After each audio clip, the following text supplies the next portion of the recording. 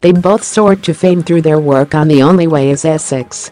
Yet Jasmin Walia, 27, and Abi Clarke, 26, prove they share more in common than a love of structured reality shows as they both sizzled in sexy scarlet outfits at the SIXTY6 magazine launch party in London on Thursday.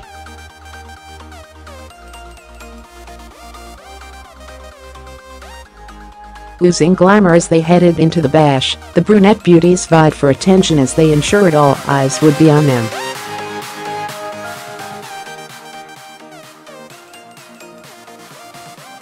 Showing off her incredible figure, Jasmin donned a racy red PVC bralette that offered a look at her cleavage and her enviably taut stomach.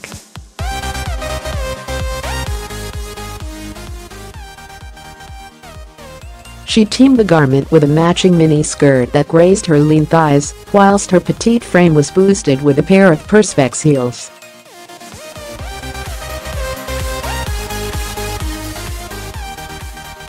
Layering up, the reality starlet turned aspiring singer donned a beige faux fur jacket and grasped a patent large clutch bag.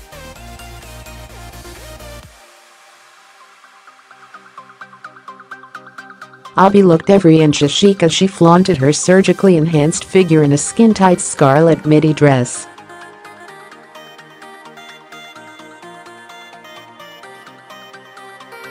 forcing her to go underwear-free for the outing. The star's dress featured cutout detailing across the seams, flashing more of her physique.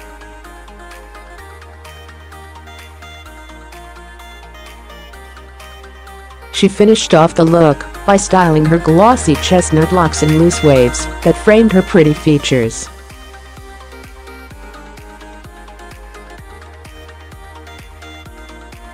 Both Jasmin and Abi are said to be single at the moment, with the former splitting from her long-term boyfriend Ross Warwick in summer last year.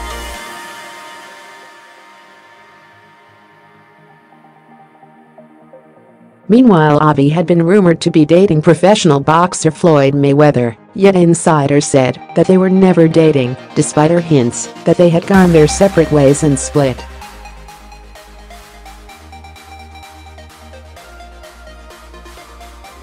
A source confirmed to Mail Online they never were dating or a couple in first place, so you can't split from something if it was never, at any time, joined together.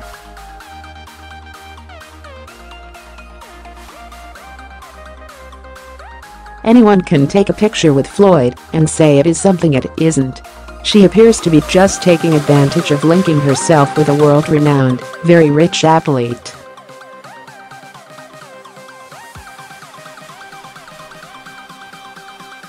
The duo were first romantically linked after a cozy picture of the duo appeared in July, and he was said to have taken her on multiple dates, flying back and forth in a bid to see her.